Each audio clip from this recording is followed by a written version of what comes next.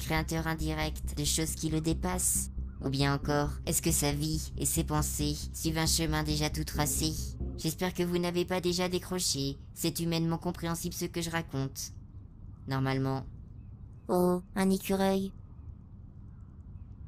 Salut, moi je m'appelle Billy. C'est quoi ton nom?